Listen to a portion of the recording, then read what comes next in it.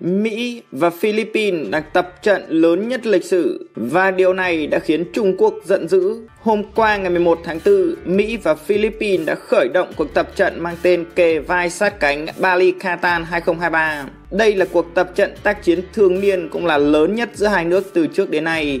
Theo kế hoạch, cuộc tập trận năm nay sẽ diễn ra trong 2 tuần, dài gấp đôi thời gian so với cuộc tập trận này vào năm 2022.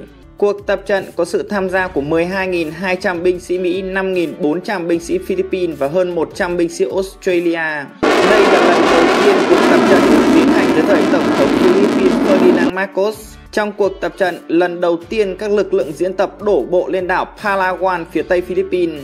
Quân đội Mỹ cũng sẽ huy động tên lửa Patriot và hệ thống tên lửa có độ chính xác cao HIMARS trong cuộc diễn tập quân sự này. Người phát ngôn của quân đội Philippines là Đại tá Medel Aguila cho biết cuộc tập trận sẽ nâng cao chiến thuật, kỹ thuật và quy trình trong một loạt hành động quân sự. Trước đó, quân đội Mỹ đã được phép sử dụng thêm 4 căn cứ quân sự ở Philippines. Đây được xem là dấu hiệu mới nhất cho thấy chính phủ Philippines mong muốn củng cố liên minh với Mỹ. Bộ trưởng Quốc phòng Philippines Calito Gavet cho biết, ngoài cuộc tập trận với Mỹ, Philippines cũng đang triển khai thực hiện các kế hoạch với Nhật Bản hướng tới việc ký thỏa thuận các lực lượng thăm viếng để các lực lượng phòng vệ Nhật Bản có thể tham gia các cuộc tập trận chung ở Philippines. Theo các chuyên gia quân sự, Philippines có vị trí gần đảo Đài Loan và nước này có thể trở thành đối tác quan trọng của Mỹ trong trường hợp Trung Quốc tấn công Đài Loan. Vậy nên, việc Mỹ được tiếp cận các căn cứ quân sự của Philippines cũng đã khiến Trung Quốc giận dữ.